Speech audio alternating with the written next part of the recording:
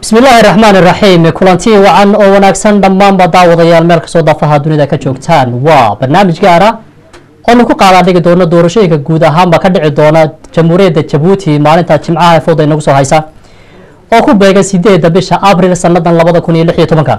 Halkaasi oo la filayo inay ku hirdamaan ama iska hor yimaadaan musharaxiin ay ugu cadcad yihiin ama ilaa iyo lix musharax oon halkan magacantooda idinku soo koobi doono oo ugu horeeyo madaxweynaha dalka jamhuuriyadda jabuuti oo talada hadda haya mudane ismaaciil cumar geele maxamed muuse cali oo loo yaqaano tuurtuur maxamed daa-uud shixin cumar cilmi khayre jaamac cabdiraxmaan jaamac oo loo yaqaano cadhoole iyo xasan idris maxamed. Dhammaanba musharaxiintaas ayaa la filayaa in ay dadka reer jabuuti maalinta jimcaha fowda inagu soo haysa ay dhammaan ay ka qayb qaataan codbixinta iyo qofka iyagu marka ay rabaan inay u arkaan muddada shanta sano ee soo socota inuu hogaanka dalka u qabto. Haddaba calson t v waa t v caalamiya isagoo markaa markasta ku taxaluqa marka ama isku isku taxalujiya inuu igu soo gudbiyo kulba dhacdooyinka ka dhacaya geeska africa gaar ahaan waddamada jabuuti iyo geeska africa ama afrikada bariba. Ayaa waxaanu diiradda ku saari doonaa toddobaadkan barnaamijkan gaarka doorashooyinka markaa sida aynu sheegeen la filaya inay dhowaan ka dhacaan toddobaadkan gudaha dalka jamhuuriyadda jabuuti. Sidoo kale waxaanu halkan idinka soo gudbinay oo dabcan ad ka wada warqabtaan daawadayaal barnaamijyo kala duwan oonu idinka soo duubnay guud ahaanba xaaladda iyo isbedelada guud ee ka socda dalka jamhuuriyadda jabuuti. Sidoo kale waxaan halkan aad ka daawateen doodo aanu iskaga horkeennay mucaaradka iyo muxaafidka. Halkaasi oo iyagu dabcan qoloba fikirka ay qabto ay ka soo gudbinaysay. Habeenkan caawaase waa uu ka duwan yahay habeenadii hore halkan uga barteen ee ama mucaarad muxaafida ama mucaarada. Waxaanu diiradda siin doonaa oonu waktiga inta badan siin doonaa bal iyagana markooga dadka taageersan madaxweynaha talada hadda haya mudane ismaaciil cumar geele oo iyagu noo soo gudbin doona bal fikirka iyo sababta u aaminsan yihiin inuu noqdo madaxweynaha shanta sano ee soo socota. Hagaag aan ku soo dhaweeyey martideeda barnaamijkan igala qayb gali doonta oon jecelahay marka hore inaan kaga dhawaajiyo. Hees aw dabcan u soo saaray abwaan lagu magacaabo abwaan reer jabuuti aan idhaahdo oo lagu magacaabo cabdirasaaq maxamuud maxamed iyo sidoo kale waxaa igala qayb galaya isagu barnaamijkana kaalin xalle ka qaatay siciid gaboobe oo ah guddoomiye ku-xigeenka jaaliyadda jabuuti ee dalkan ingiriiska. Heestaas dhowaanta soo baxday ayaa dabcan anigay soo jiidatay waxaana loogu magac daray waa markii dadka dabcan fasiraadeeda iyo macnaha ay xambaarsan tahayba waxaan isku day doonaa abwaankii sameeyey oo dhankayga midig fadhiya inaan bal isaga u soo celiyo isaga tafaasiir uga bixiyo waxaan se jeclahay bal marka hore inaad iguna raaxaysataan ayadoo dabcan caawana oo marti inoogu yahay uuna nagala qayb galayo fanaankeenii weynaa. Custom oo ka mid a fanaaniinta aadka loogu jecel yahay ee ku nool magaalada london. Custom ayaan u gudbinayaa marka hore bal heestaas oo midhaysan codkiisa dahabiga bal inuu qac nooga siiyo. Custom ku soo dhawo horta aada baad u mahadsan tahay heestan wallaahi waxaa sameeyey abwaanka la yidhaahda cabdirasaaq maxamuud garaacato laxanka anaa saaray codkana anaa ku laqeynaya maasha allah marka waxqabadkii xaaji ismaaciil cumar geele ayaanu ka hadlaynaa wax kale maaha waay bal waxaan jeclahay midhaha waad waan u soo noqon doonaa balse horta dadku marka hore inoola fahmaan. Already youtube-ka iyo meelo badanna waan way gashay heestaasi bal waxaan jeclahay inaad horta qac nooga siiso bal ayadoo noogu luqeynayso waaya haddaan idiin bilaabayaa waxa weeyaan heesta waxaa la dhahaa waa markii dadke taariikhda duuga dushaan ka sheege maqla reer jabuuto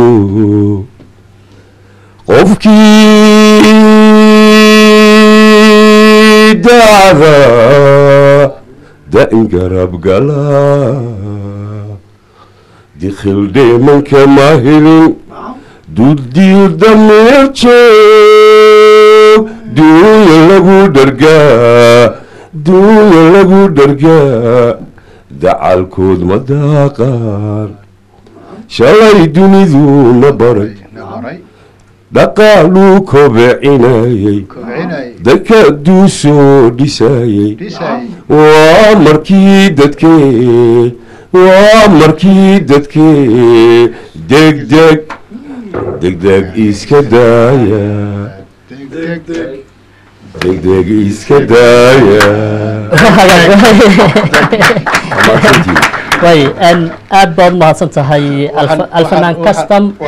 yarba uga cudur daaranayaa heesta midhaheedii muu dhammayno inkastoo dekedihii iyo tareenadii iyo heestu ay meelo badan taabanaysay waxaan aada u jeclaan lahaa isagoo dhameeya oo aan runtii aanu ku raaxaysanay oonan midhahaasi aada iyo aada inoo taabteen. Custom waxaan ka xumaaday inuu heestii nagu bargooyey waxaanan jeclaa dadka reer jabuuti ee aan heesta wada gaarahayn customow haddii awriyaad iga raalinahayn inaad heesta noo dhamayso. Way haddii xafidsan yahay waan jeclaan lahayn. Okay dabad hay marka. Dawiis iyo walaalbu ayuu deeqaayo dawiis iyo walaalbu ayuu deeqaayo way waxaan jecel lahay marka waa dadaalay alfanaan custom waxaa inala fadhiya oo dabcan garabkayga midig fadhiisaan kaga dhawaajiyey dhowaanba abwaan cabdirasaaq maxamuud oo ah abwaankii ay maskaxdiisa ka soo maaxatay. Heestan hadda uu inoogu luqeynayay alfanaan custom. Bal midhaheeda iyo iyo macnaha guud ay xambaarsan tahay waa markii dadka intaynaan u gelin. Waxaan jecel lahay. Horta maxaa ku dhaliyay marka hore in hees samayso bismi illaahi raxmaan raxiim marka ugu horeysa waad salaamantihiin dhammaantiin. Wax walba waxay ku dhashaan uun sabab bay u dhashaan. Sababta igu dhalisay waxa weeyaan inkastoo shacabka jabuuti wada og yihiinba waxqabadka amba adduunkuba oo wax qarsoonba aanay jirin. Haddana waxaan idhi bal mar labaad si yara xasuusi. Markaa waxqabadka madaxweynaha ismaaciil cumar geelle wax lagu soo koobi karo gabay geeraar amba heeso midnaba maaha laakiin waxaan bal waxaad ka yara taataabataa inta. Aan marnaba qarsoomeyn ee muhiimka ah. Way laakiin heesta saan ka dhadhaasan karo macnahe magaceeda waa markii dadka. Maxaad uga jeedaa markii dadka? Waxaan u jeedaa doorashadii ugu horreysay uu madaxweynuhu qabtay waxay ahayd tii uu adduunkayna barayey way. Shantaa sana hawshaasaan anugu xil saaray. Shantii kale ku xigtana waa tii dhaqaalaha. Uu kobcinayey oo dhaqaalo samayn iyo dhaqaalihii bay ahayd. Shantii kalena waa dhismihii dekedaha tareennada iyo la dhisayey waxyaalo badan oo la dhisoor qabtay. Markaa tan dambe ee tii afraada anu waxaban ugu magac dara waa markii dadka wax loo qabanayay waayo wixii dalka laga qabanayo o dham way soo dhammaadeen waxaa hadhay uun in dadkii wax loo qabto. Markii sha- shaqo abuurka dhalinyarada waxqabadka wax badan oo dadku malaha isleeyihiin maxaa dhacay madaxweyne? Muxuu qabanayaa? Ay tahay markii imika ay doorashadan ay tahay tii u qaban lahaa afka siba u yaqaana in intooda la taabtaa wanaagsan waxay odhan waxaa hadal ku soo koobaya waa markay dadku casheynayeen.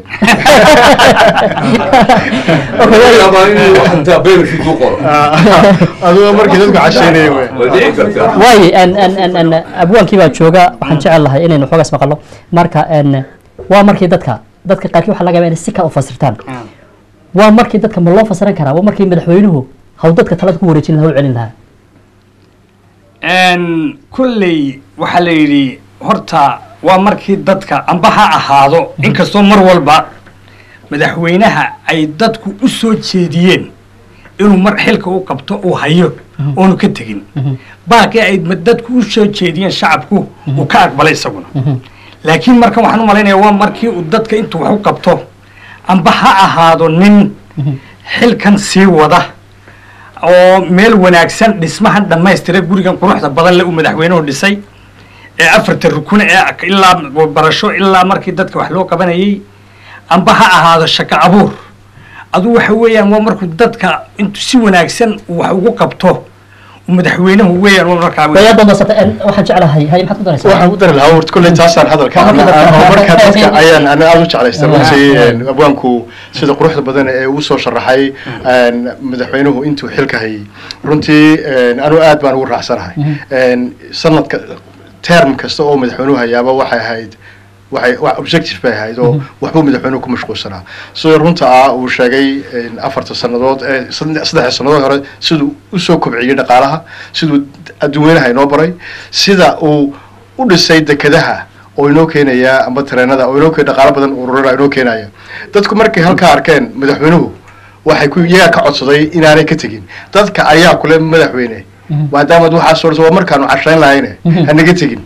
Markaa macaaridka tay ugu yidhaahdeen matalan ba dee ha dhammaystiro. Waxa weeyaan cashada ummadda haka haka qabanina weeyaan waa waktigii ummaddu ay cashayn lahayd. Ee ummadda wuxu qaban lahayd horumarka ay ummaddu ay gaari lahayd. Maadaama shaqadii dhabta ahayd ee muhiimka ahayd ee ummaddu u baanayd wax ku heli lahayd. Uu madaxweynuhu soo dhameeyey.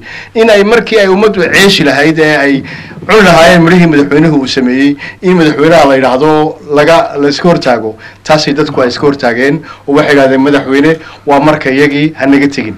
Marka calaa kulli xaal waxaan uga socdaa dalbashada ummaddu ay ka dalbatay madaxweynaha. In ay uu ku soo noqdo waxay arkayeen waxa ay waayayaan iyo waxa himanada madaxweynuhu uu higsanayo iyo waxa iyaga uga soo kordhaya.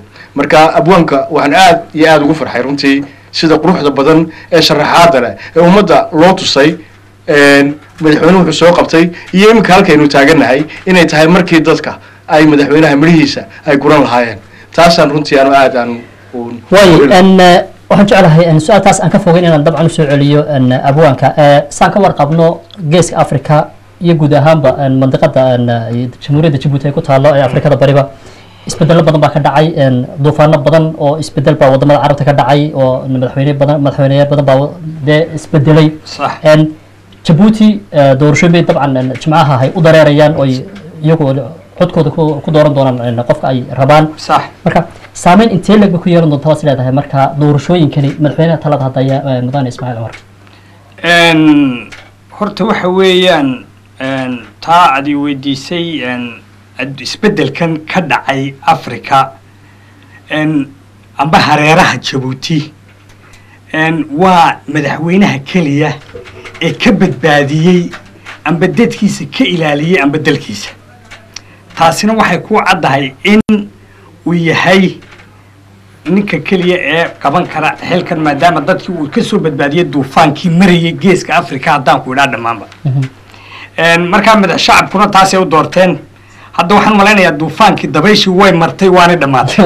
Marka madaxweyne ismaaciil cumar gelina waa ninka keliya ka badbaaday. Marka daad uu qaado dad badanna wuu qaadaa ina way ka hadhaa waan sii doona insha alla daawadayaasha iyo ka soo qaybgalayaasha iyo taageerayaashaba gadaal fadhiya. Waxaan jeclahay su'aalta aan ka fogeyn dabcan inaan ku soo celiyo oo ah sirta madaxweynaha uu isticmaalay inuu kaga badbaado taa ereyga abwaanku ka dhawaajiyey duufaanadii carbeed iyo iyo geeska africaba maxay taad malaysaa wallahi runtii horta waa su'aal aada u fiican. Maxaa ku kalifay madaxweynuhu? Runtii ma aha un tu madaxweynaha ka timid laakiin waa tu ka timid ummadda reer jabuuti.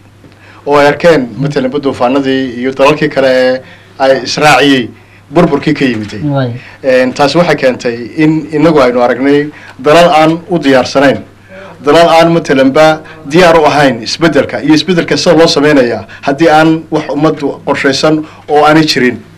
In haddii aad isbeddel doon u tiraado waxbaan bedelaya adoo waxbii lagu bedelaya aan diyaarsan haddaad keento burbur bay keenaysaa. Runtii waxaad arkaysaa markaas dadka reer jabuuti ee qunyar socodka ah ee wax walba ka fiirsadaa in ay arkeen haddiiba in lagu dhaqaaqo sida dowladaha kale amba dalalkaa kale waxbaanu doonana waxbaanu bedelana ti oon laga fikirinba sida wax loo bedelayo in ay khibrad badan aynu ka qaadanay. Anay arkeen burburka ay keenayso khasaaraha ay keenayso. Taas oo runtii xagga madaxweyneheenuna dee la arkayo dee wixii uu sameeyey. Waxaanay ku runtii aada u mudan madaxweynaha runtii u dhabar adeegay ummaddiisa aqbalay waayo dimuqraadiyaddu kolba sidaad u dhigato maaha wax lagugu qasbayo.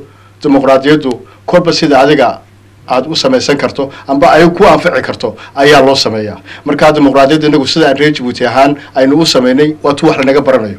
Madaxweynahan jabuuti ee maanta joogaa horumarku gaarsiiyey.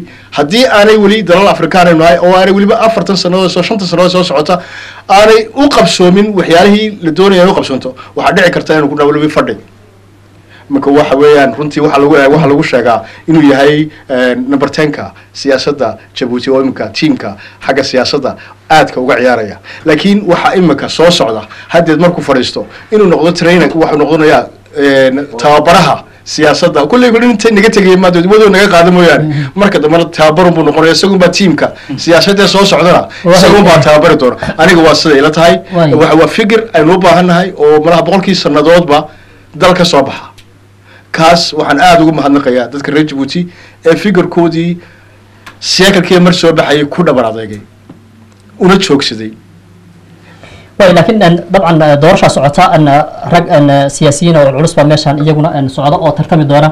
Marka anoo jecel inaan daawadayaasha nagala soo qayb galay oo dabcan ah taageerayaasha madaxweyne ismaaciil cumar geele oo iyagu caawa raba weedhooda iyo ereyadooda inay halkan iyaguna ka soo gudiyaan waan waan siin doonaa laakiin waxaan jeclahay waxaan ka dhawaajinay ilaa iyo madaxweynaha marka laga reebo shan musharax inay ay iyaguna ay u ordayaan madaxtinimada marka qaabkee loo kala hadhi karaa baad is leedahay waxa weeyaan waxaan waxay ku xidhan tahay shacabka. Mhm. Nimanka mucaaradka xaq bay u leeyihiin waa dad muwaadiniin inay isa soo sharaxaan. Nin kasta oo hamigeega leh amba is idhaa waxbaad qaban kartaa wuu isa soo sharaxaya waaba kuwa isa soo sharaxay waxaan u malaynayaa adduun weynaha waa wadankii ugu horreeyay lix qof ilaa toddoba qof oo musharax ay soo taagaan. Laakiin waxaa lagu kala hadhayaa muxuu qabtay qofkan? Muxuu qaban doonaa? Waa garta marka qof aad og tahay wuxuu qabtay iyo wuxuu qaban doono. Waxaan malaynayaa qof walba maskaxdiisa dee qof idhaa haddaan wax bilaabayaa banaankan baan wax kaaga bilaabayaa. Guri bay noqon doontaa. Waa waan qurxin doonaa waa la geli doonaa.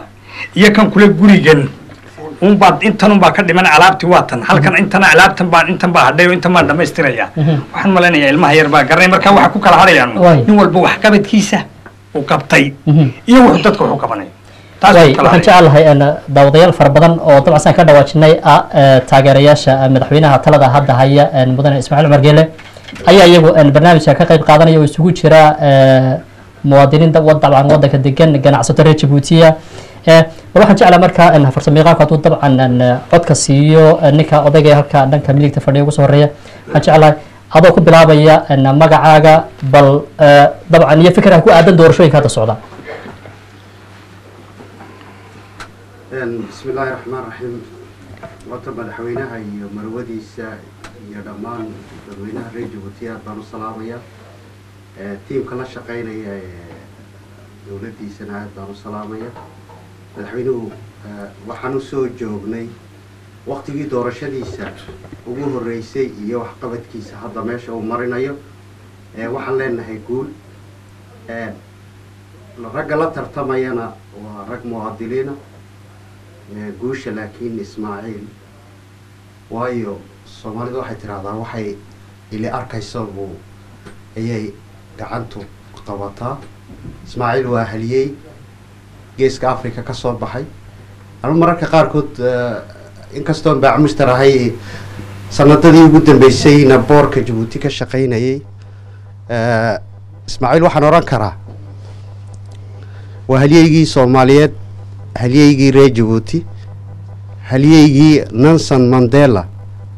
Ninka madoobee lagu gumaysanaya south africa u bedelay in uu kursiga madaxweynenimo fadhiisto xornimada jabuuti iyo taariikhdeedana kolley nin walba waa yaqaanaa.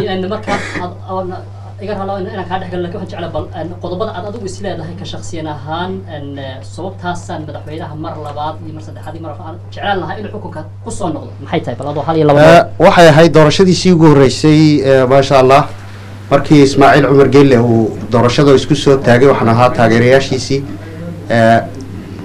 dalka jabuutina waan joogay jabuuti xaaladda ay markaa maraysay qof walba oo aqoon-yahana iyo qof walba oo reer jabuutiya uu la socday mishaarku halka uu marayo siyaasaddu halka ay marayso mugdiga ay ku jirtay. Waxaan odhan karaa waa iftiinkii u baxay dowladda jabuuti iyo dadweynaha jabuuti ya ku xidhay caalamka dekeda geeska africa tareenada warshadaha milixda iyo siyaasaddii caalamka oo ku soo xidhay meel ahayd maalintii uu yimiday.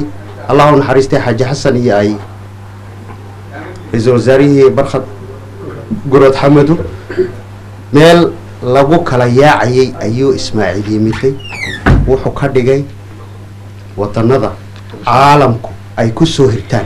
China oo ugu dambeeya adduunka ayaa wuxuu ku tallamaya Mhm. in jabuuti uu ka dhisto base isagoon weligii wadankiisa waay muhiimadu marka wax ahaan baad ku taageeraysaa. Qabad ahaan. wadanka isbeddel uu ka dhaliya dabcan u iyo dhigaysaa siyaasad ahaan dhaqaale ahaan mid guud iyo mid gaar. Hadda wuxuu mideeyey xataa wuxuu mideeyey dadweynaha reer jabuuti taariikhduna ma iloobi doonto ismaaciil? Waa hagaag. Waay walaal aad baad mahadsan tahay waxaan jeclahay bal fairness gabdhaha gadaal fadhiya iyagana inaan mid ka mida siiyo codkooda si ay bala fikirka ku aadan doorashooyinka hadda dalka jamhuuriyadda jabuuti ka dhici doona maalinta jimcaha iyo dabcan sababta ay madaxweynaha haddii ay taageersan yihiin ay codkooda ay u siinayaan mar kale. Adoo magacaa ku bilaabaya. Asalaamu calaykum. Magacayga waxaan idhahdaa nimco cabdi axmed. Waxaan ahay ani asxaabtayda jaaliyadda london degan ee reer ani su'aashaadii weydiisa haddaan ka jawaabo madaxweynaha waan taageersannahay annagaana ka dalbanay inuu noo soo noqdo mar afraad iyo mar shanaad ba haddii ilaahay gaarsiiyo insha allah waxaan ku taageernay hadafka meesha dheeroo nala hiigsanayo ee yacni ah siyaasad qurux badan oo hufan iyo horumar oo deendhaha la iska qabanina ummadda dhan ay arkayso adduunka meel kaste carabiya cajab ay arkayso oo maanta dalka jabuuti dee isbeddelka ka muuqda la arkayo. Waxaan arkaynaa madaxweynuhu inuu yahay madaxweynaha jabuuti unan ahayn madaxweynaha geeska africa oo dhan. Marka waxaan rajeynayaa insha allah inuu guuleysto hambalyaan leenahay isaga iyo xukuumadda marwadiisa marwada koobaad ee dalka marwe khadre maxamuud xayd. Dhammaan waxaan leenahay maad aragtay jiro jooga. Waaye nimco aan dabcan adaga raalli haddaan su'aal halkaa kaa weydiiyo ma is leedahay en mucaaradku haddii ay fursadda madaxweyne ismaaciil cumar gel adda uu haysto haddii ay heli lahaayeen iyaga naftigood waddanka horumar intaa laga gaadhsiin kari lahayn ma is leedahay? Haddaan si daacada u hadla xaqiiqda ka hadlo uma malaynayo. Waayo madaxweyne kasta waa la arkayaa waxaan waa siyaasaddu waa waxa weeyaan waa haybad. Marka laga soo tago yacni aqoonteeda iyo waxaa madaxweyne ismaaciil cumar gelle wuxuu si gaara u leeyahay haybad ilaahay siiye oo ah aqoonta bili-aadanku fahmaya qof kasta baahidiisu fahmaya qof kasta wuxuu u baahan yahay u arkayaa. Yacni ma male kala saarsaar ummadiisa oo u siman tahay magaca jabuuti oo keliyaatu ku shaqeynaya. Marka uma malaynayo waa madaxweynahaada afle markaa uma malaynayo. Haddii ay cid bedelayso yani halkaa gaadhsiin karaysa ay jirto laakiin isma lihi waa hagaag walaal aad baad mahadsan tahay ninka odayga dhexda ku jira rabaa bal inaan isagana siiyo fikirkiisa ku aadan isagoo magaciisa ku bilaabaya magacaygu waa maxamed cali kaasaali waxaan ku noolahay jaaliyadda reer jabuuti ee ku nool london baan ahay dhowaan baan dalkii ka yimi dalkii waan soo arkay waxqabadka ismaaciil cumar geelle aada iyo aad baan ugu hambalyeynayaa halka uu dadka iyo dadkaba gaadhsiiyey muddo dheer oo soddobiyey sanaan meesha ku noolaa laba jeeroon tegay tacajub intii ismaaciil joogay dee wax weyn cer iyo dhul bay isu jiraan. Isagii xukuumaddiisaba waxaan leeyahay hambalyo. Dhammaan dadka reer jabuutina waxaan leeyahay si wanaagsan. Sidaad awalba foodka uga qayb gala jireen uga qayb gala. Dadka iyo dalkuba waa adduunku wayna daawanayaa inaga geejiya mucaaradkana waxaan leeyahay haddii laydiga helo. De sidii adduunyada caalamka aynu waddo wanaagsan isku hambalyayno.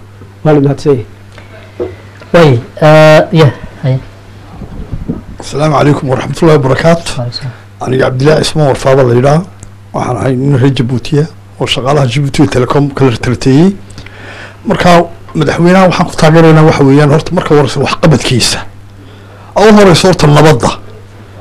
Nabad haddii la waayo wax la qabanaya ma jirto. Intaa ilaa sagaal iyo sagaashankii ilaa joogadeena dalkeenu nabad mooyaane wax kale. Wad- wadanada kale africa oo dhan baa nagu soo wada ishay nagu soo wada hayeen nabadaan nacamo hayno waayo cid nabad wax ka qaalisan ma jirto. Iyo horumarka dalka uu gaarsiiyey waxqabadkiisa ragga xukuumaddiisa la shaqaynaysa ee wax fulinaysa sida marsada waad aragtay marsada say noqotay jabuuti cidi kaagama warramayso. Gacanta waxaa ku hayaa bakar cumar xadi.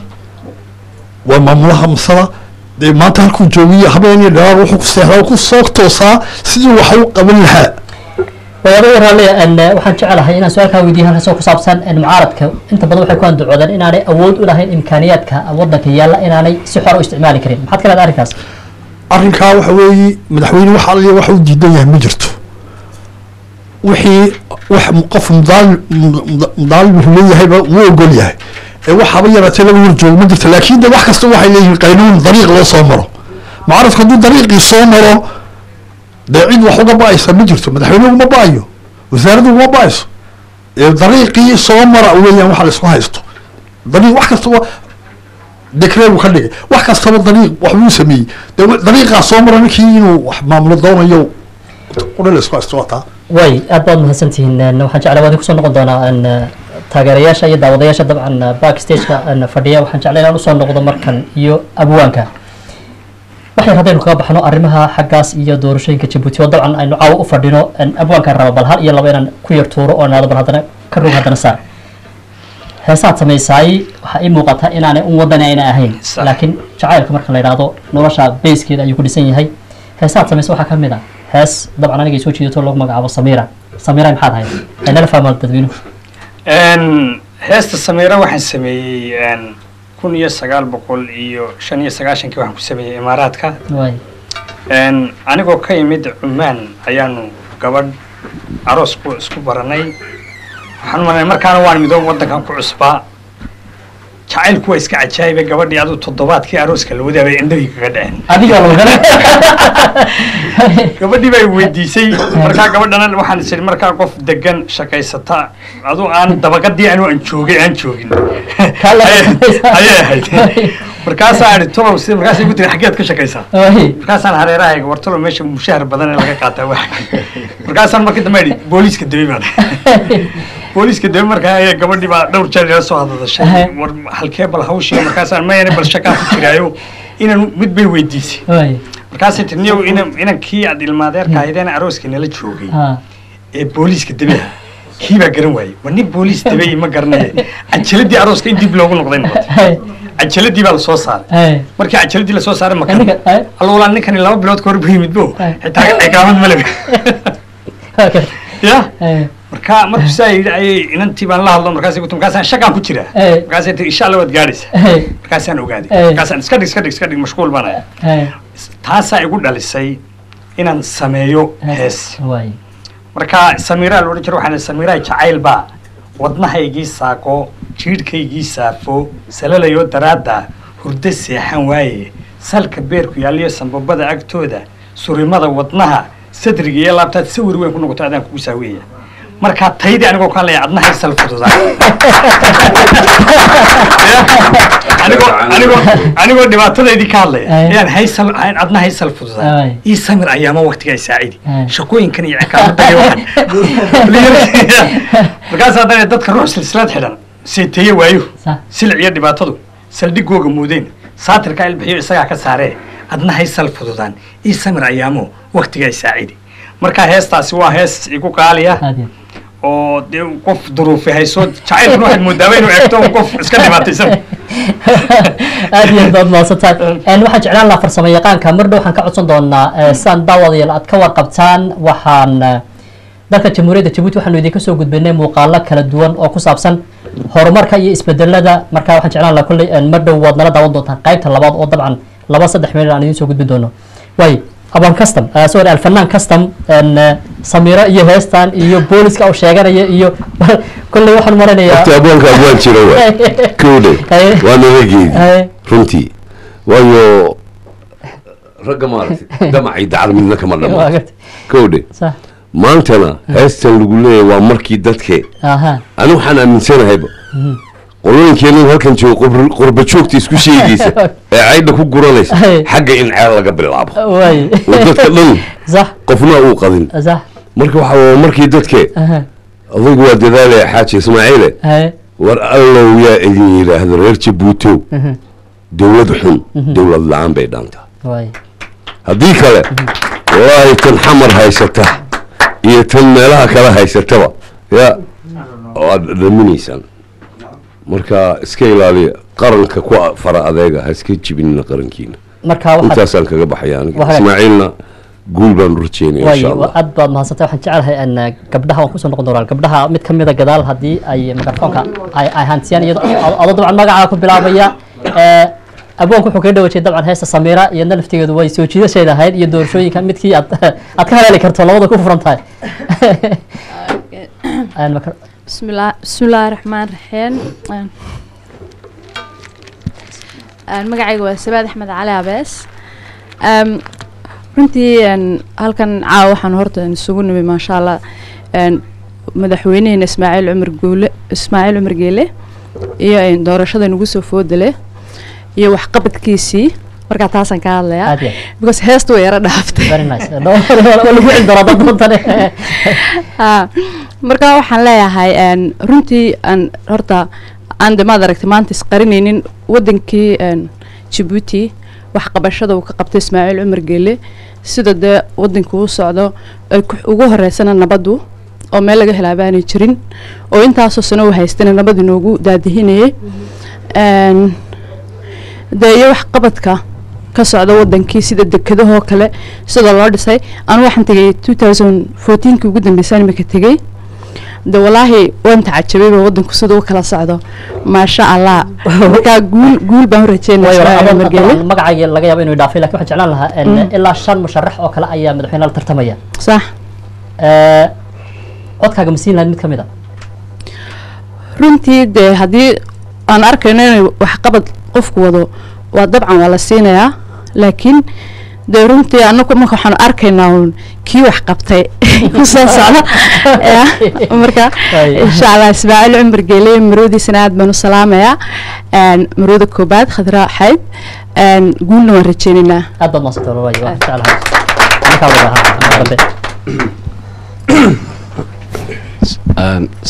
calaykum waraxmatullahi wabarakaat aniga aniga la yaraha maxamed cali xuseen oo reer jabuutiya xaggan maanta waxaan joognaa inaan madaxweynehena ismaaciil cumar gele iyo doorashooyinka ka dhacaya insha allah jabuuti jimcaha soo socda.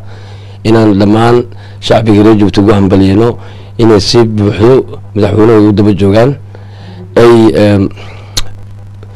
ay si fiican doorashadiisa u sameeyaan. Qolada kale mucaaradkana waxaan leenahay hadduu ilaa yaraa idinka laftigiina de waxaad qaban kayseen qabta. Dee haddii aad arrinta aad aad aada ku guulaysan weydiin hadda madaxweynihiinaasi wuu soo daba joogsadaa la shaqeeyaa maxaan ku raha nabaddana waddanka inoo ilaaliya dhammaanteen. Si fiican oo nin kastaba halis ixtiraamo halis maqlo dhammaan aad baa maasanta waxaan jeclahay inaan aniha ah, eh? ah, bismi illaahi raxmaan iraxiim aad waxaan u salaamaya horta bahdan calson t v khusuusan faysal oo barnaamijka iyo bulshaweynta halkan joogta caawa aad baan u salaamaya ta kale iga xigta waxaan salaamaya bulshada reer jabuuti dibad iyo gudabo ku nool madaxweynaha ismaaciil cumar geele iyo marwadiisaba. Haddaan ku bilaabo magacayga waa daahan nuur cali reer jabuutiga ku nool wadankan u k baan ka mid ahay. Caawa waxaanu fadhinaa inaynu ka hadalno doorashooyinka ka dhacaya dalka jabuuti iyo shantan lixdan musharax ee uu u ordaya ha madaxnimada. Marka haddaynu soo qaadano iminka mudane ismaaciil cumar gele waxa weeyaan waxyaalo badan buu qabtay lamana soo koobi karo. Caawiya beriga haddaynu niraano ka sheekeeya ma koobi karno. Waxa weeyaan dee cid ka qorsoonina ma jirto. Aniga tay soo jiidatay waxa weeyaan waxqabadkiisa marka laga yimaado guuluhu ka gaadhay dhinaca siyaasadda. Waxa weeyaan ilaa ismaaciil ilaa xasan guulad ilaahay u markuu joogay cid la la dartami jiray may jirin. Amba cid kaloo doorashada loo dadku yidhahdaan loo ogolaan jiray may jirin. Laakiin hadda wuxuu ismaaciil uu fuliyey inuu nin kastoo reer jabuutiya uu xor u yahay inuu ku soo dhuur ku soo dhiirado inaa la doorto. Amba uu soo dhigto madaxnimo uu isku u ordi karo. Soo maad garan. Berigii hore waa laga baqi jiray. Dadka waxa la ohan jiray reer bay u xidhan tahay reerkaa mooyaane cid kaloo soo sharaxaysaa ma jirto. Laakiin hadda waxaa kaa muuq ku muuqda dadka ku jira inaanay reer keliya hayn oo cid kastaba leeyihiin.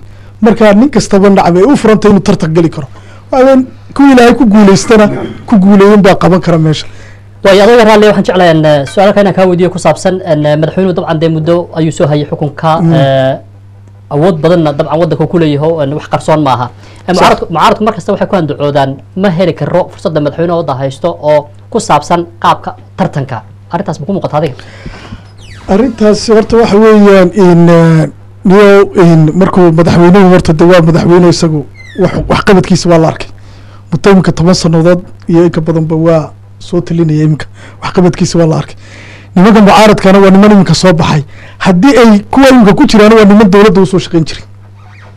Lixdan nin ee meesha ku jirta waa niman dowladda u shaqayn jiray. Niman cusub oo dabadda ka yimaadeen ma waa niman la yaqaano tuurtuur waa la yaqaana wuxuu ahaan jiray ninka kale cabdiraxmaan jaamac isagu inkastaanu siyaasi ahayn oo nin baac mushtari iyo noteer ahaa waa la yaqaanaa cilmi waa la yaqaanaa nimanka kale waa niman soo shaqeeya wax la ar- laga ar- la yaqaan. Laakiin waxay soo kordhiyeen iyagu ilaa hadda ma jiraan. Laakiin ninkani waxqabadkiisa waa la arkaa inkastuu dee isagu madaxweyne wadanka ka ah iyagu aanay weli gaadhin. Laakiin haddana waxa weye serviceka iyo meeshaad ka shaqaynaysid haddaanad adigu ismuujin waxba dee kama kama way war aad aad baad mahadsantahay waxaan jeclaa bal ninka ah. odayga ku kala fadhiya inaad isagana mikrofoonka u dhigto si aan u ogaano fikirkiisa. Ah. Bismillahi raxmaan raxiim anugu anuu saciid miicada. Dhowaana ka yimid jabuuti oon layga sheekeynayn waxa weeye horta madaxweynuhu wuxuu soo fulay kun iyo sagaal boqol iyo sagaal iyo sagaashanki. Yuu maxtooyada soo fulay halkaan joognana reer jabuuti waa ogyihiin waxaan ahayn manque de logement baan ahayn.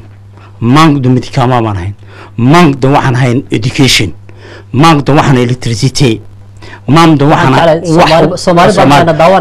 waxaanan lahayn markaa korontadu waa nagu yarayd xadiidku si dhibaato nagu ahaa tacliin baanu lahayn oo gumaysi baan haysanay oo tacliintiinu naga saaray guryo maanu lahayn oo maanta guryo ma lihin reer jabuutina lama odhanayo dikada ma lihiinna lama odhanayo waayo heerkuuna gaarsiiyey cidna gaarsiin kartaa ma jirto waana nin siyaasadda u googo-ay waana nin nala dagaalamaya shisheeya iminka marakaad aragtid agenda africa aad akhrisatid amba babro aad akhrisatid waxaa la yidhaha jabuuti ku dayda. Waayo waa meel uu gaarsiiyey africa oo dhan baa la yidhaha jabuuti ku dayda. Maxaa loo yidhaha waa heer madaxweynaha iyaguna gaarsiiye weeyaan marka anagu aan ku kalsoonay madaxweynaha ismaaciil cumar geelle waxaana uu noolow in marwadiisa khadre maxamuud xayd na iyadana waan salaamayaa baarlamaanka la hiishay santan sane ee dambe. Waayo markii hore tiirarkiisu ma adkayn shantan dambe se madaxweynuhu wuxuu yeeshay tiirar adag oo wax la qabanaya. Marka waxaa leenahay ismaaciil cumar geele maanta waa u dhan tahay. Halkii oo soomaali gaarsiin lahaana uu nagu wadana waan ognahay dhalinyarta nimka soo kacday garanaysa laakiin halkuu ku wado dhalinyarta reer jabuuti baan ogahay. Wahay walaal aad baad mahadsantay waa kaaga mahad celinaya fikirkaaga. Eh, waxaan jeclahay inaan madasha xaggan u soo noqono si aan aan, abwaankaan jecla balina su'aasha horeysa ka fogay su'aalaha eh, doodaha iyo fikradaha ay qabaan inaan inaan inaan aan weydiiyo. Doorasha dabcan saan ka wa- wada ognahay aad ka wada dhawaajiseen en, ka dhacaysa dalka jamhuuriyadda jabuuti jimcaha soo socda haddii ilah yidhahdo welise arrimaha marka xagga mucaaradka iyo lixda nin ee tartamaya marka la eego ee kolley dee natiijaa soo bixi doontaa? Waxaa la yidhahdaa garina laba nin kama wada qosliso. Dadweynihiina meesha fadhiyo oo dhanba dabcan waxaad caawa taageersantihiin madaxweynaha jamhuuriyadda jabuuti haddii isaga laga guuleysto dareenkaagu siduu noqon doonaa? Mise ku muuqataa? Si kala daba dhigo. Waxa weeyaan horta inteeda halkan joogta shacabkii jabuuti ee naga badnaa ayaa samaynaya doorashadan. Hadday shacabka reer jabuuti iyagu ay gartaan mid ismaaciil u dhaama inay ku jiro nimankan doorashada oo iyagu doortaan kulley annagu shacabka reer jabuuti kama hadhayno oo waxay dadkaasoo dhan ku qanceen. Wadar iyo waaxid laakiin waxaan u malaynayaaba inaanay wax ra'yi ahaantayda ma odhan karo. Laakiin hadda doorashadani siday ila tahay. Waxaan u malaynayaa shacabku ismaaciil cumar geene adaa soo sharaxaya shacabka ma odhan. Shacabku iyagaa baag u soo dirsaday oo cod u soo dirsaday oo yidhi madaxweyne ma noo joogi kartaan mar afraad isaguna wuu ka aqbalay. Maadaama waxaan u malaynayaa shacabku ay baaqaa sameeyeen. Dee saaci shacabkii baaqaa sameeyey inaanay maanta mid kale dooranayn ay hela tahay saciid waxaan jeclahay eh, madaxweynuhu natiijada ka soo baxda eh, doorashada la filaya inay jimcaha dhacdo en, eh, dacar iyo qaraar midkeed bay noqotaba ma ku qanci doonaa walaa horta dee madaxweynuhu dacar iyo qaraadh midkay noqotaba afkiisana uu ka sheegay. Waay. runtii dee sida uu abwaankuna u dhagay. Dadku dadka jabuuti dad waalan maaha. Waa dad miyir qaba. Madaxweynuhuna dee siduu iskamuu iman anigu kolka waa fadhiisanaya wuu yidhi. Rag dadka shacabka reer jabuuti u yeedhay ha naga fadhiisanin waxaan maskaxda gelin dad waalaalin reer jabuuti ma waa dad mihir qabee u malayn maayo in matalan ba ay odhanayaan matalan ba laga helayo. Marka madaxweyneheen horta maanta inuu helayo doorashadan layskuma hayo. Oo ah taasi nina caad kama saarna. Oo dee waa madaxweyne aan isagu odhan doorta ee madaxweyne shacibku yidhahdeen noo fadhi marka taasay horta ku kala duwan tahay marxaladda maanta jabuuti ay taagan tahay taasaanay wadanada kale kaga duwan tahay. Si dimuquraadiyaddii tahay oo doorasha ay dhacayso ayaa haddana nin ka mida musharaxiinta uu kalsoonidii dadka musharaxnimadu ugu yimid hadda looguma dooran isagaa ugu yimiday in ummadda ayaa tiri noo musharax noo ahaw oo iyagaa dhigay. Marka horta taasay kaga duwan tahay waana wax dalalka kale adduunku aan jeclaan lahaa kolley in laga barto oo wax laynagu qasbo aanay noqonahayn midka aan aadka ugu daraya runtii waxa weeyaan qolooyinkan musharaxiinta ah oo dad muwaadiniina runtii ah oo loo baahan yahay dee in iyaga laftoodu marxaladda siyaasadda ee dalka maanta ka jirta inay wax ka bartaan. Xusbiga mucaaradkii laftiisu waxaa loo baahan yahay inuu wax barto. Marka cambaynka in xusbiga de maanta talada ay ismaaciil cumar geelato waa xusbi qurux badan.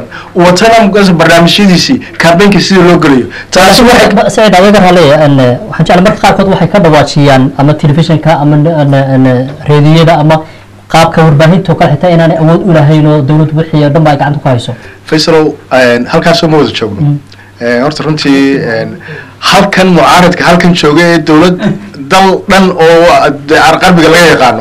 Shan janar oo soomaaliya ayaa ka taagan meesha. Mucaaradku shantii somaal shantii janarba way diideen inay inay yidhahdeen wayna ka qayb galaan.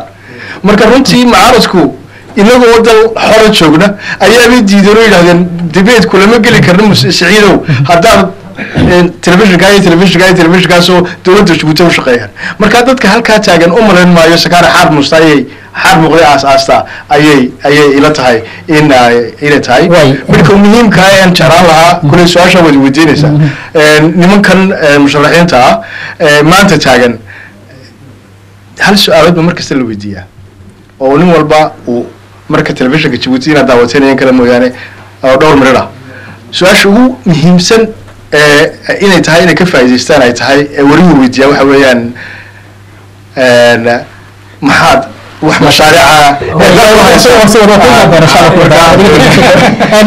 daawadayaal mar kale iyo mar labaad iyo mar saddexaadba waxaan jeclahay inaan idin xasuusiyo sidan hadda ka horba aan barnaamijyadooda oo ku saabsan doorashooyinka jabuuti oo saan wada ognahay jimcaha dhici doona aanu halkan mucaaradii maxaafidda aan ku qabanay mar kale arbacada soo socota haddii ilaha idhahdo saacadda afrikada bari markay tahay sagaalka fiidnimo in carson t v ay ka dhici doonto. Dood ku saabsan isaga doorashooyinka jabuuti ay ku hirdami doonaan mucaarad iyo muxaafid.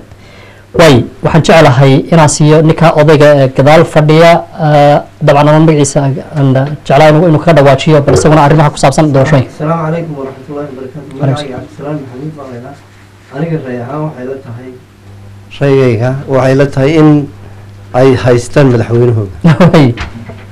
Waayo dee waad arkaysaa adduunyada waxa ka dhacaya caraba yamano jaarka libiya syria dadkii inala jaarka ah waad arkaysaa heerka ay marayaan soomaaliya oo kale.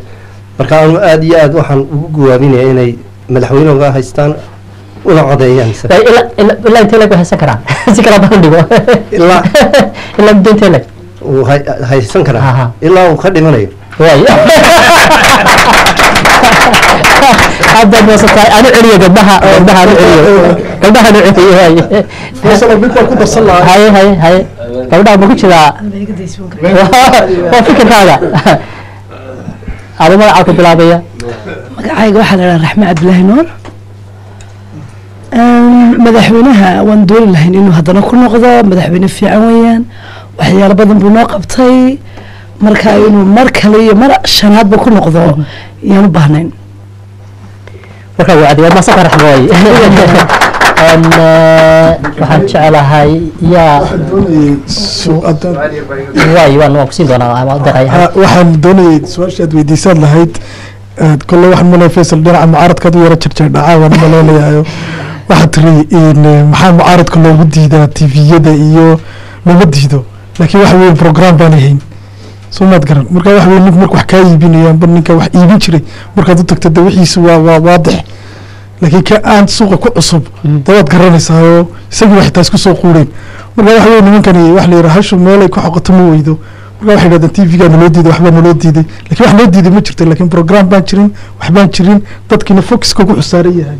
Ninkan wax qabtay waxaan wax socdo horumarkan socdo tareenkan socda ya jabuutidan dhaqaaqda la arkaya marka ninka le loo joojinayo marka waa ogyi iyaguba inaan loo joojinayn laakiin waxaan leeyahay mucaaradka waa dad wadaynaatinin laakiin waktigii la suga insha allah waana mar baad qaban doontaan. Way abdeeq ugu dambeyn si wuxuu inoo soo noqdaan insha allah abdeeq hay aniga bismi illaahi raxmaan raxiim horta mar labaad baan ku soo noqonayaa dadweynaha reer jabuuti iyo madaxweynaha marwadiisa aad baan u salaamaya.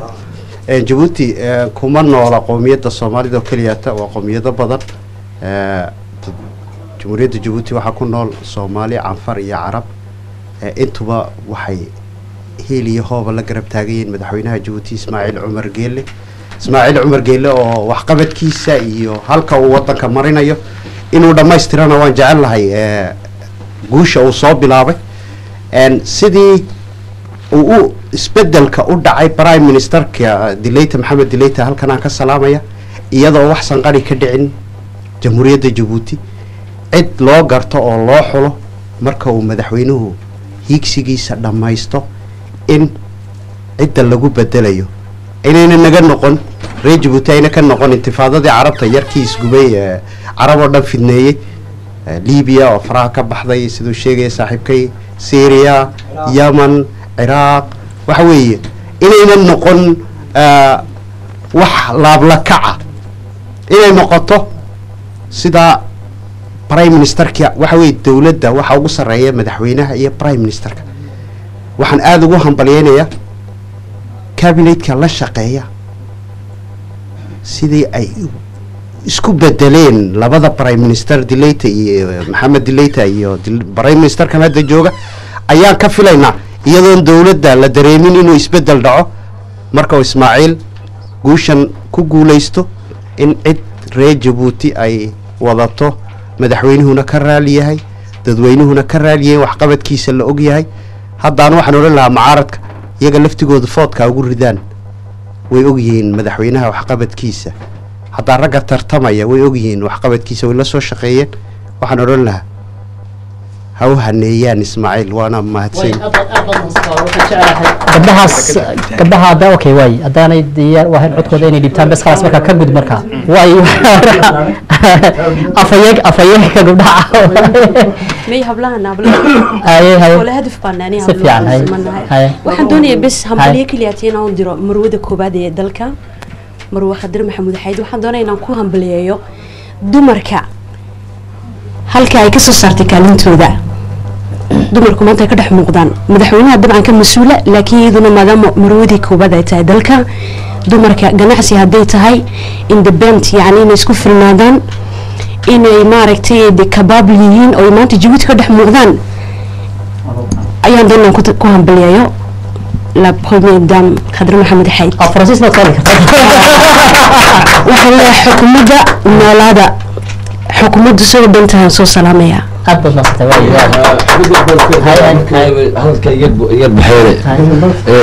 asalaamu calaykum waan mar labaad baan ku soo noqday anigu waa maxamed cali xuseen. Sida runtii two thousand fourkii markii aan wadankii ku noqday markii aan ka soo aan ka soo dhoofay nineteen ninety fivekii isbedelkii aan ka- ka- kadibna aan ku noqday two thousand fourteenkii magaalada jabuuti isbeddel weyn weyn aada weyn ayaan- ka arkayd. Eh, dhismo socday iyo horumar socday iyo baac mushtari wax kaste wadooyin tareeno marka xitaa noloshii dadka biniaadamkii kor bay u kacday. Taas waxay aada ii tustay in madaxweyne ismaaciil margeele waa hawshiisii madaxtoynimada si fiican u qabsaday uuna ilaa hadda uu si fiican ugu gudanayo. Marka waa leeyahay dhammaan madaxweynehena waxaa kale insha allah waad u qalantaa inaad marka labaad iyo mar afraad iyo mar shanaadba ku soo noqotid. Waxaan jeclaa inaan inaan ku su'aal ku saabsan inta badan waxaad ka wada dhawaajinaysaan isbeddel madaxweynuhu uu sameeyey eh, oo wadanka guud ahaanba uu ka qabtay. Sababta madaxweynuhu uu xukunka u hayo oo ummaddu ay ugu igmatay marka hore soo maha inuu wadanka wax u qabto.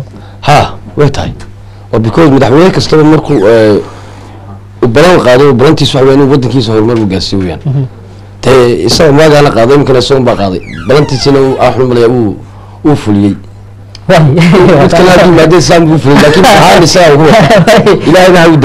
aad aad baad mahadsan tahay Een, eh, waxaan jeclahay marka inaan u soo celiyo eh, madasha inaan xaggan iyo abwaanka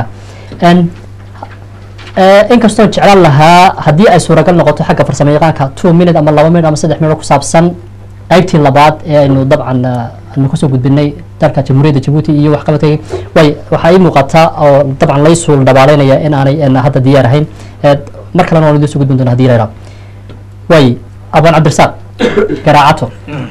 Samiirood kaga dhawaajisay. Sax. Wax badan baa inoo yaalla inkastoo waqtiguna hau inoogu celiiri yahay. Ballanqaadna lama galo.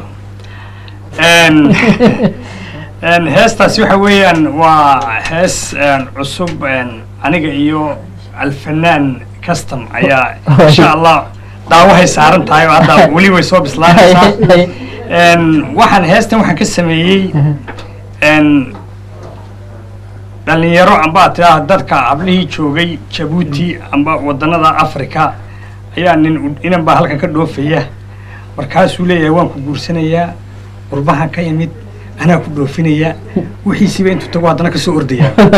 Markaa gabadhii dadkii ahaa gayaankeyga amba dhalinyaradii waatan ka dhex baxday layidhi gabadhi waa la guursaday waaba dhoofisa intuu soo meheriyaanu dibba ugu noqonay oo ninkii waa la waayay markaa gabadhii oo ka hadlaysoo le boqorkan raggoo idil aawadii u baajeen banaanka ugu banaanka ugu soo baxay bogan waaye xaajadii iyo talabilowge beentaan run moodeen islahaa baraad beyd aroos la gelaysaa buubtayoo la waa ballanqaadna lama galo hadduu ereygu kaa baxo bismillaahiye fuli doqonnimo waa bare bilicdii haweenkay tanaan baafinaya beernugeelka fuluhuna beriya kulama dhaafay tijaabada ku badiyay bal ninkan aad ku ordisaan hortiskiina tijaabi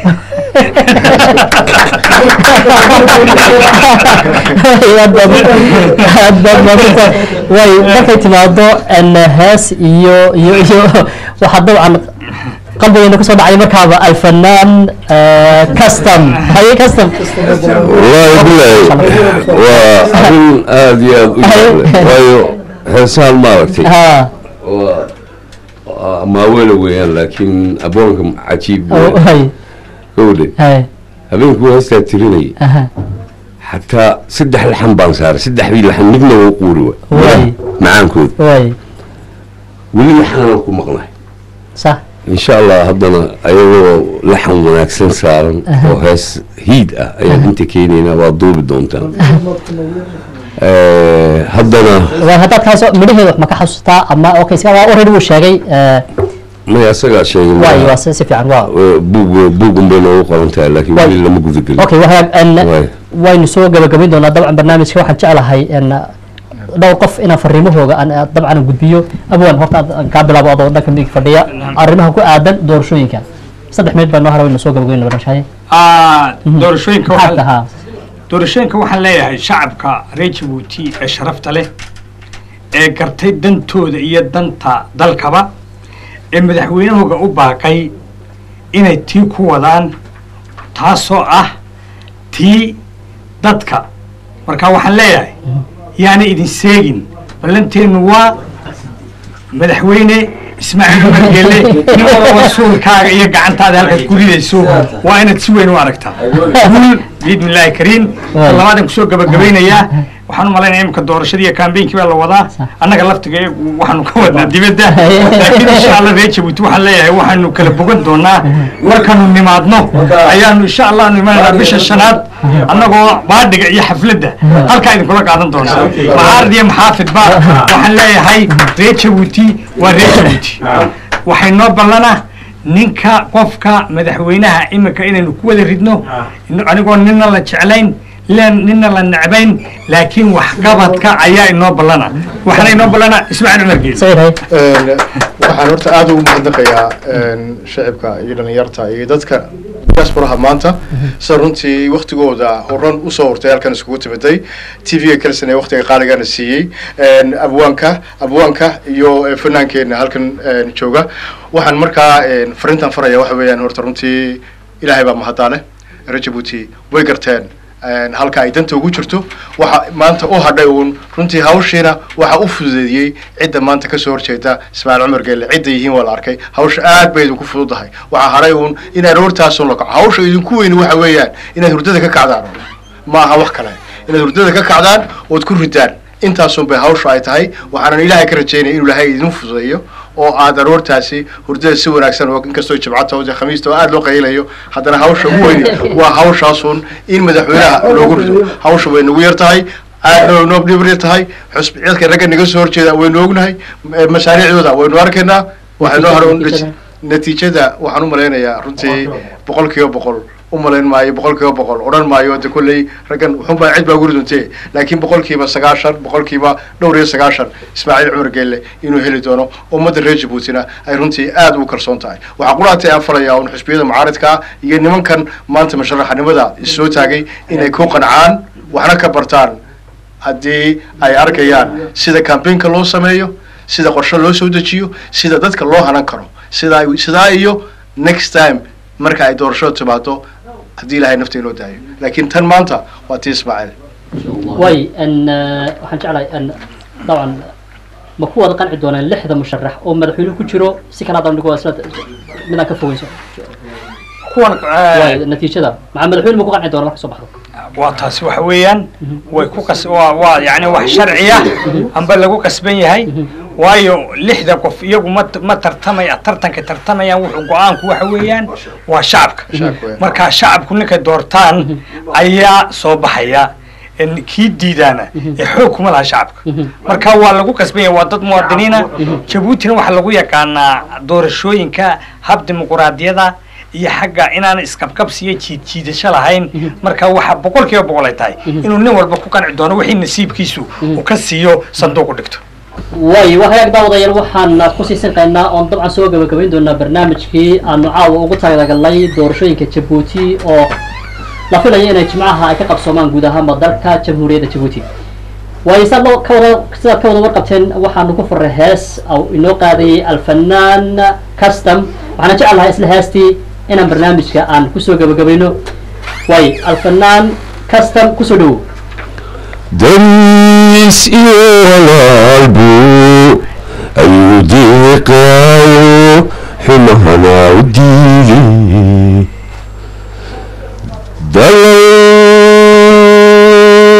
dalbaabo ayuu soo dabaqabtay wahagaag daawadayaal barnaamijkii maanta oo nuugu talagalnay doorashooyinka dalka jamhuuriyadda jabuuti oo la filayo inuu guud ahaanba ay ka qabsoomaan maalinta jimcaha oo taariikhdu ay tahay sideedda bisha abril. Sanadda labada kun iyo lix iyo tobanka intaas ayaan ku soo gabagabeynaya. Waxaan aada uga mahad celinaya taageerayaasha iyo daawadayaasha guud ahaanba daafaha dunida naga daawanayay iyadu si tooska ula socday calson t v studiisa magaalada london. Waxaan si gaara uga mahad celinayaa siciid iyo abwaanka iyo dhammaan guud ahaanba. Intii ka qayb qaadatay soo saaraha barnaamijku waa anigoo faysal aadan miicaad toddobaadada dambe intaan ku kulmi doonana dhammaantay waxaan idinku dhaafaynaa assalaamu calaykum waraxmat tacaala wabarakaatu